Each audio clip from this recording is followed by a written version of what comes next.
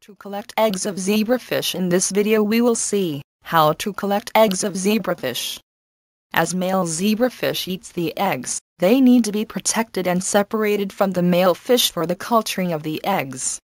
Hence for collecting the eggs we have to prepare a trap. These are the requirements for the trap.